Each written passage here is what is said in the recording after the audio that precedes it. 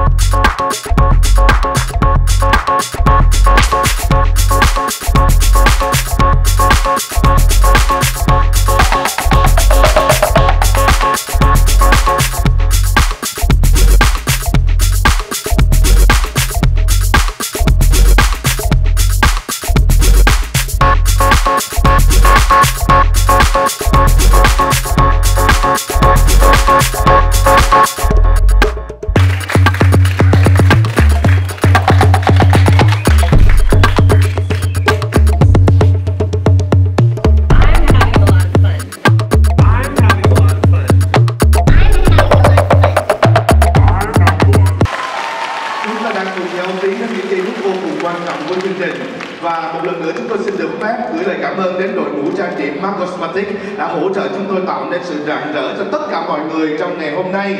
Và kính thưa quý vị, chúng ta cần phải theo đuổi tự Dạ.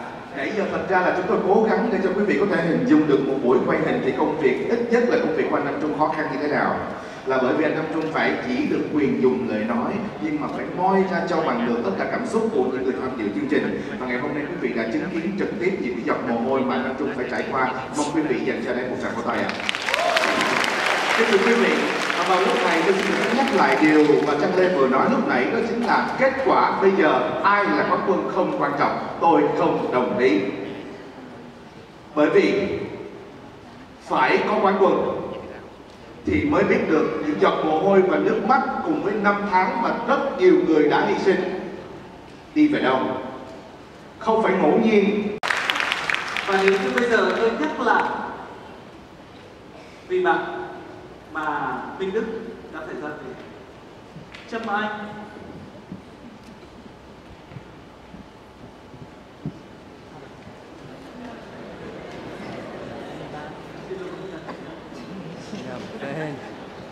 Thu Anh, một gương mặt rất sáng giá đã phải ra về và hơn như vậy nữa Nam Anh cũng đã ra về để bạn có ở đây. Tôi vẫn còn nhớ ngày ở Israel.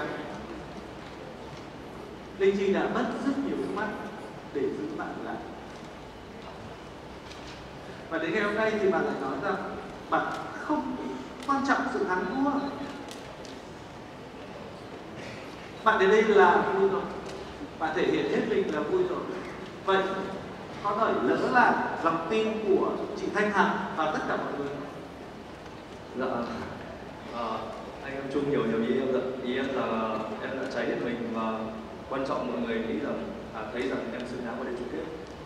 Và thắng thua thì mọi người đã thấy và cảm nhận được ai thắng ai thua được mọi người sẽ biết trong và khi đến với cuộc thi và để có thể trở thành một The Face Việt Nam 2018 tôi vẫn còn một yêu cầu một thử thách tôi muốn bạn phải làm ngay bây giờ. Xin mời nhắc lại những lời sau của tôi. 15 quả na, quả nào cũng nát.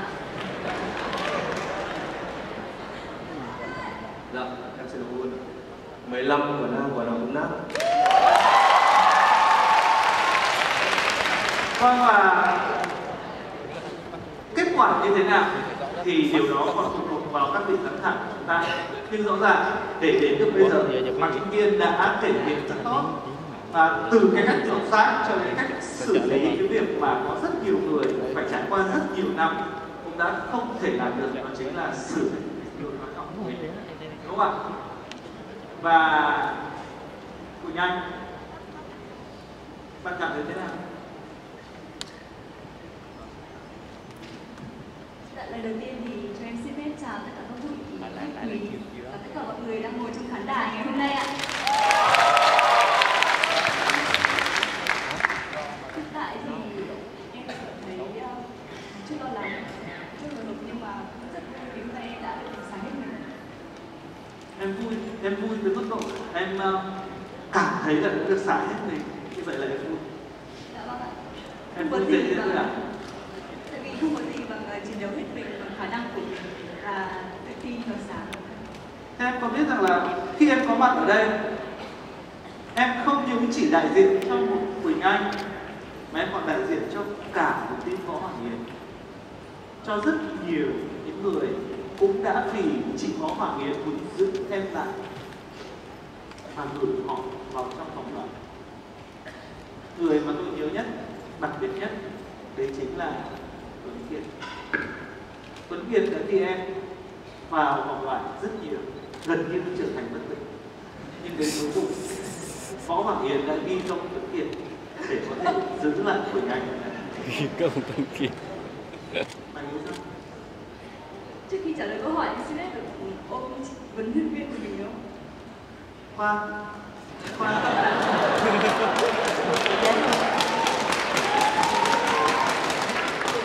đây có phải là cái ôm để thỏa mãn lòng mong nhớ khi một thân một mình ở Israel?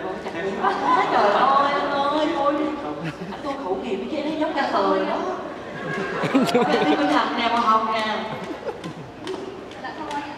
Là một cái ôm từ chính trong trong em. anh thì nghĩ rằng nếu như em muốn ôm em phải ôm cả đi. Mọi người có thể ra đây được không ạ? Đi vào hàng liền ơi! Ủa đây đi Đi vào hàng liền! Ờ, xin mời bạn quay trở lại ạ. Chúng ta vẫn còn đang ở trong chương trình. Xin mời Quỳnh Anh.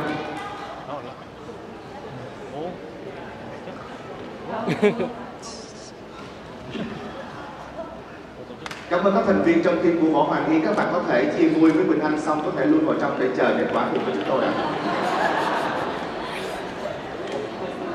vì một quyết định nông nổi đấy Cách sống này giờ nói gì và võ hoàng Cách sống giờ nói gì Anh đi Lúc à, cảm thấy như thế nào? để rồi, hai đứa con lơ mơ tại đất khách quê người.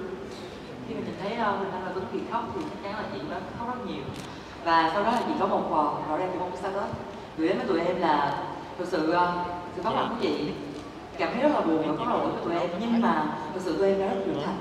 Và bên cạnh đó cũng rất cảm ơn hai bên ở đây cũng rất là hỗ trợ cho team của hàng Yến mặc dù anh Trung cho phép hay đá chứ nó quen rồi nhưng mà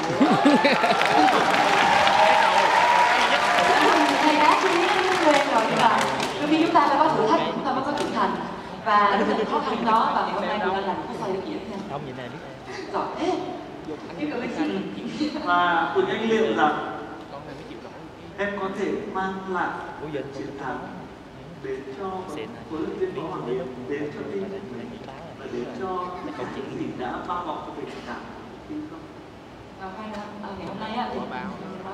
em em anh chưa cho phép được nói mentor tổng mentor Số hy sinh đầu thôi Qua những gì mà em đã thể hiện và tự tin vào sáng ngày hôm nay thì em tin là mình sẽ làm được điều đó. đầu đó Bây giờ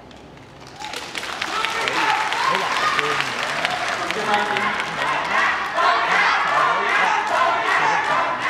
tôi đang muốn lắng nghe cảm xúc của bạn Dạ, cảm xúc hiện tại khi mà chờ đợi kết quả thì ờ, rất là hồi hộp và tim muốn rớt ra ngoài. Nhưng mà bây giờ Ngoài ra thì ờ, khi mà mình nhìn thấy uh, mentor của mình hết mình với mình thì ờ,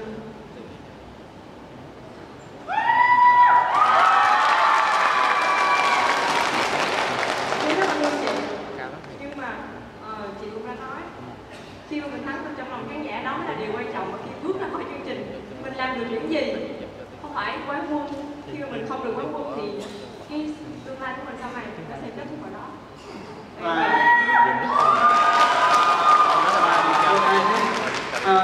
cảm thấy rằng Quỳnh Anh là một chiến tinh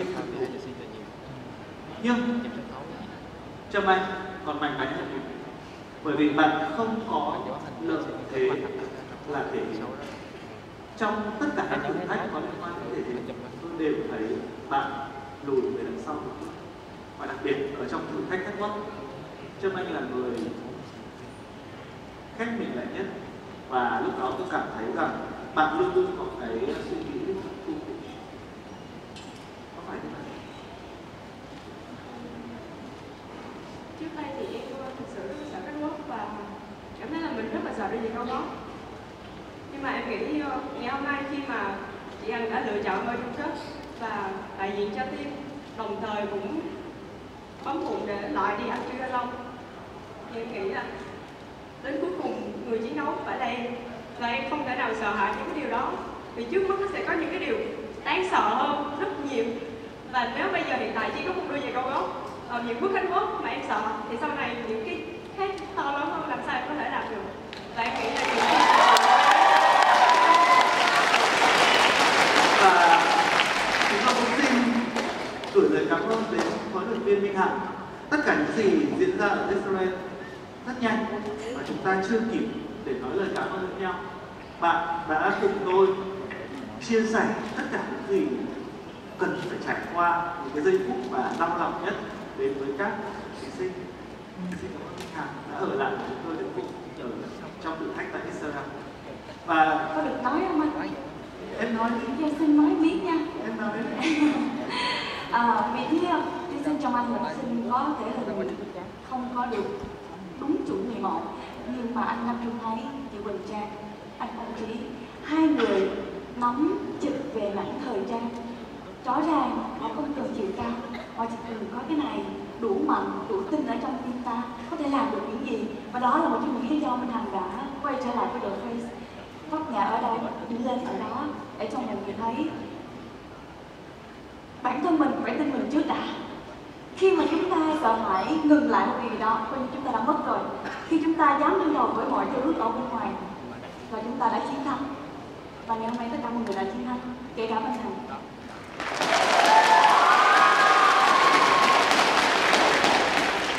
và Tây Trang là người mà theo sát chương trình